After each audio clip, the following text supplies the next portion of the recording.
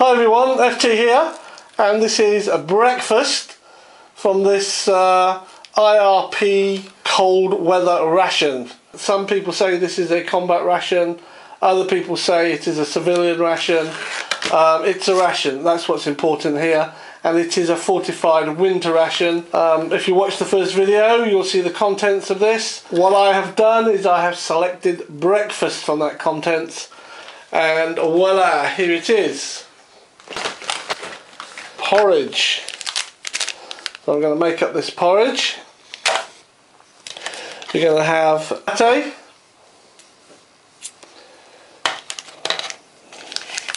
And I've got some of this apple jam. To drink with that, I'm going to reconstitute this milk powder and we're going to add the coffee to it. Now I have been told that that's the way to use it. Apparently I'll be missing an experience if I don't do it this way, so that's what I'll be doing. And then we've got a little uh, towelette and a piece of Mentos gum to refreshing the palate after. And of course, packet of crackers. This one looks a bit worse for wear, but there's six in there. And I have no idea why I got this other glass out but we'll see what happens. I might dig into the ration and pull something else out like a cup of tea if I'm not keen on this. Because I want to experience this ration completely I will be using a measuring jug to make sure that I measure the exact quantities that it says on the packs and mix them up in the correct way Right, so the instructions for this say that I need to put it in a bowl, add 150 millilitres of water, give it a good old stir, cover it and leave it for three minutes. So I've got a bowl here. Now the notch on this is at the top, so we're going to open it like that. There we are.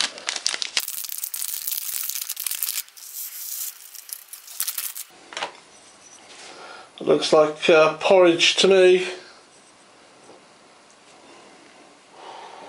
Yeah, it's got a, a raspberry smell to it.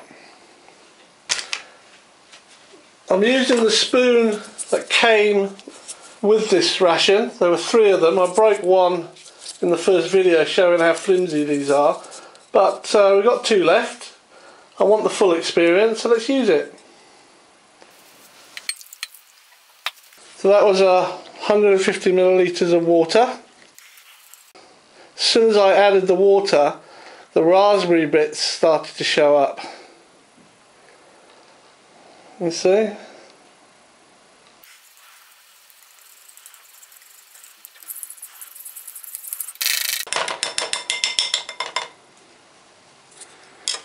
Now I've got to cover that, so I've got a plate here to cover it. We're going to move it to one side. We're going to leave that over there for three minutes. So while we're waiting for that, let's do this uh, milk coffee. So we've got a packet of instant coffee. We have a packet of drink milk. For those of you who are curious, and I'll put it in the text, 200 millilitres of water is just about 7 ounces and that equates to round about three quarters of a cup of water. So we're going to do this the way they suggest. We're going to pour the hot water in first. There we go. We're going to add this milk powder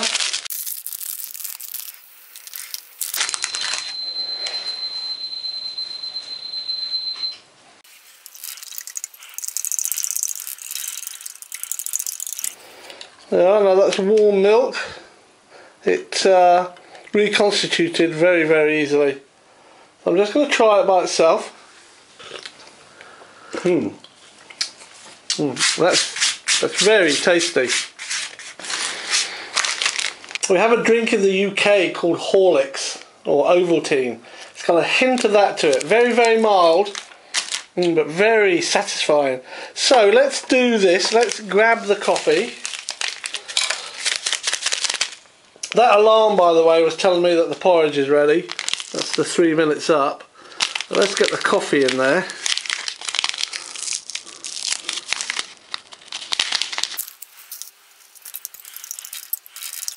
That's one hot milky coffee.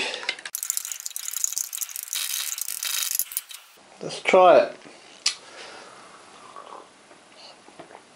Oh yeah. Mmm. Now that's a nice drink.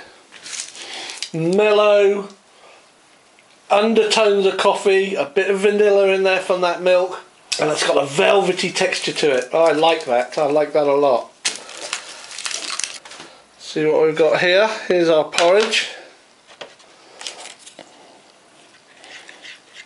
Mmm, you can smell the raspberry.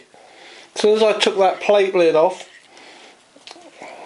the odour of raspberry came through. Wonderful.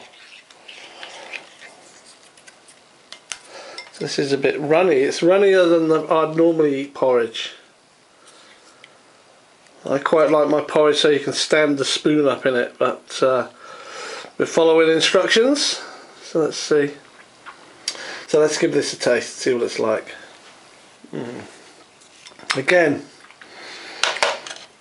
creamy, surprisingly not an overpowering flavour of raspberry. The aroma would suggest that this thing is going to knock the back of your mouth out taste wise with raspberry, but it's very mild. The, the actual raspberry flavour itself is very mild but just enough to give it that other dimension. Mmm. Light, warm, again milky. It's got that milkiness to it. So that with this coffee on a cold winter's morning, it's the 2nd of December here in Great Britain.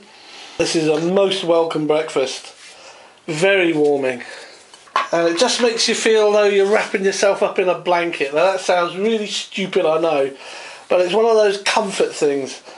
Warm, milky, mild coffee with a vanilla undertone, and you're combining that with this beautifully smooth porridge with that raspberry.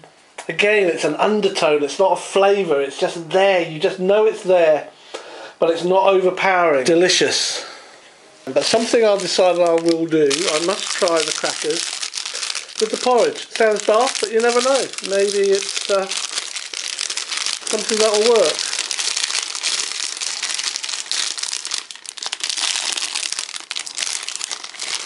So I'll take that broken one. Let's get these out. Put them over there.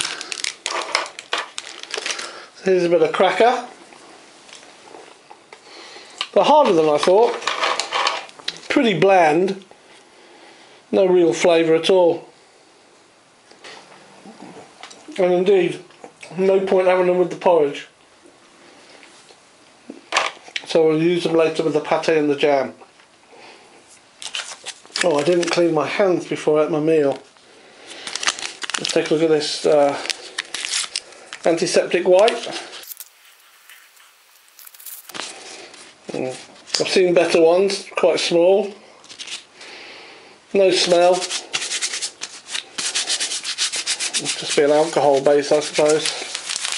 While I'm eating this I decided I'm going to try this drink. So I decided to have this as well but I'm having it as a hot drink. It seems to be a fruit drink uh, because the translation says it's got apple in it, peach, rosehip extract. Now I think I've had this before and they are delicious. Now I've had it cold before, but they're very smooth. It's got a texture to it. Now this says to add it to 275 millilitres of water. Oh, that's hard to start. Oh yeah, I'm sure this is the one I've had before. I'll change the glass.., the glass. Yeah, it's very crystallised in there. That's how it should be. I remember last time I had this in a Russian ration, and I said it's it's almost got a sap type uh, texture to it. It was delicious. So I'm going to add that into here. That's 250. There we go. Give this a stir.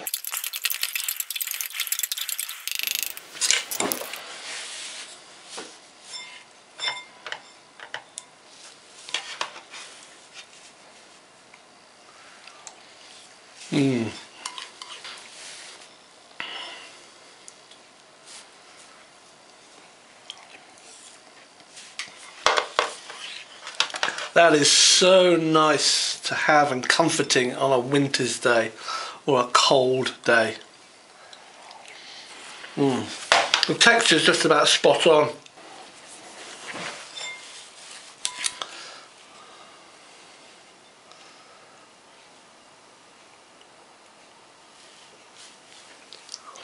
Mmm. It's really good. I know it's only porridge, but it's really good.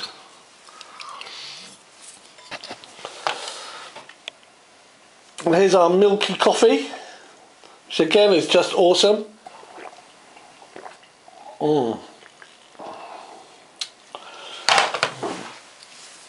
It's quite strange because you can't actually distinguish the vanilla, but you know it's there. You get little hints of it as you drink it. But it's it's very milky, it's creamy, it's lovely. I mean, how can you not like that? That's, that's uh, fantastic. I think the importance here is that this is a winter ration. It's hot porridge, hot coffee milk, and hot fruit drink. Oh, yes. It's a flavour I'm not familiar with in the UK. I haven't had a beverage that has that distinct velvety texture to it and the, the honey. You can't distinguish the peach the apple. Maybe the rose hip comes through a little bit. It's delicious. It's all just so in fact it's all just so delicious. You want to eat this and then just curl up and go to sleep and feel totally content for the rest of the day. Mmm. Well, I said it once, I'll say it again. That porridge was delicious. So let's take a look at this pate.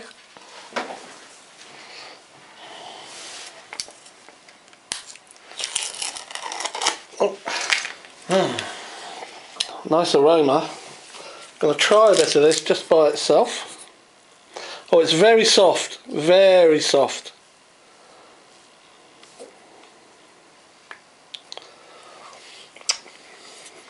Hmm. Yeah. Again, it's a mild flavour. It's almost a foam consistency. Now let's try it on a cracker.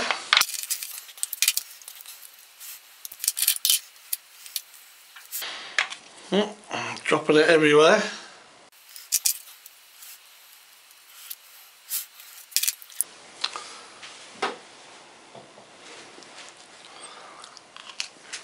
Mm. The crackers have no flavour at all to themselves. And they're a bit, I don't know, they're a bit strange. But the combination of the cracker with the pate is very nice. And they give you quite a big tub of it. Because uh, the palate is quite nice on the palate actually. And there is no aftertaste. but there's quite a lot of it so you can pile it on quite thick. Mm, but they're not easy to bite into.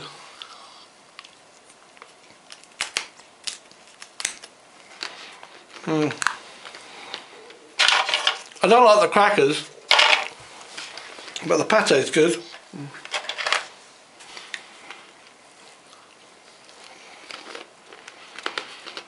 Mm.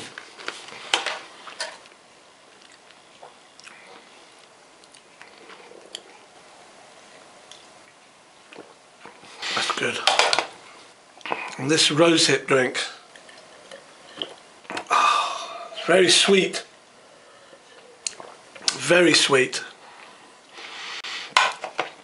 The sediment in the bottom it says is quite normal. I suppose you have to keep it stirred up.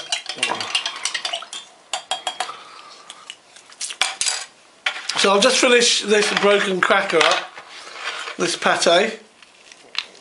Obviously there's going to be some pate left over, but I can have that during the day.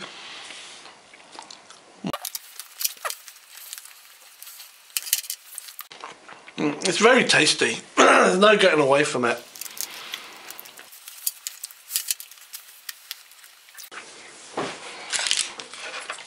As you can see how easy this, this is.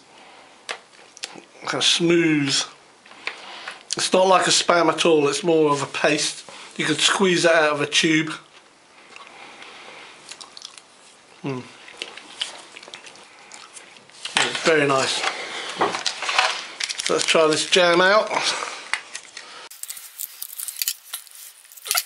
It's, uh, I say it's jam, it looks more like a apple puree, apple paste. Oh, wow. Goodness me.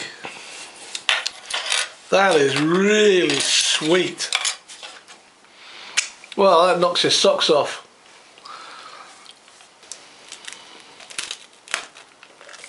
Mmm. That's more of an apple paste. I think the Americans call jam jelly.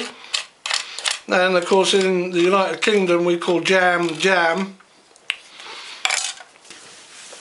But that is a paste. Wow.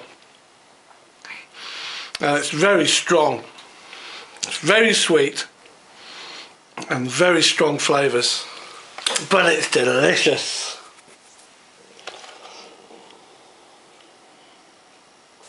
Well, I've got one more cracker left here, and I'm not wasting this. So that's going straight onto that cracker.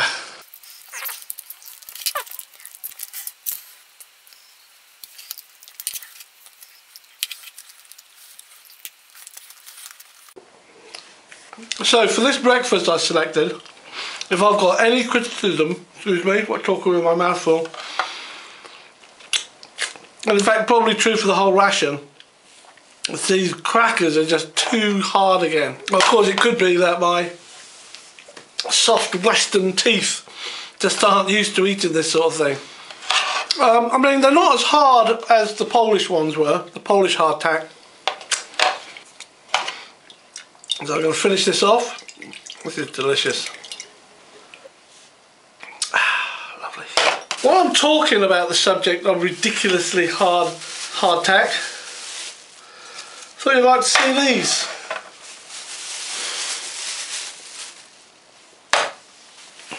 These are something that a viewer sent to me, someone I know well, who lives in Wales and these are homemade ship biscuits. Now these biscuits are based on a recipe going back before Napoleon, Nelson, and they were the ration biscuits that were given on His Majesty's uh, naval ships.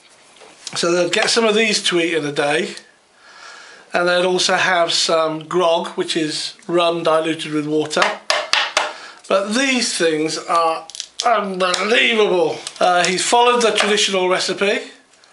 However, he believes they might be twice as thick and they are so hard.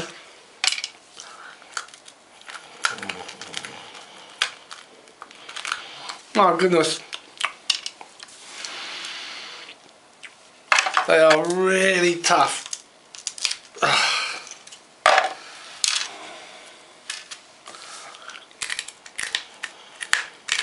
Mmm. Wow. My teeth are not strong enough for these.